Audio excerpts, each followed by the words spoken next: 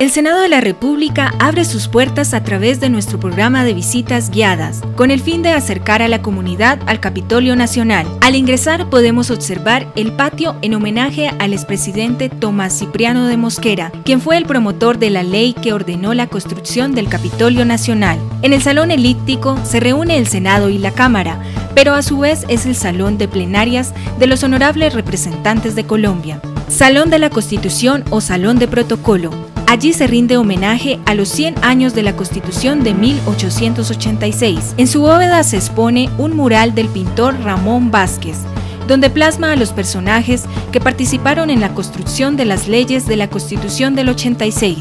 En el recinto del Senado se reúne la plenaria del Senado de la República.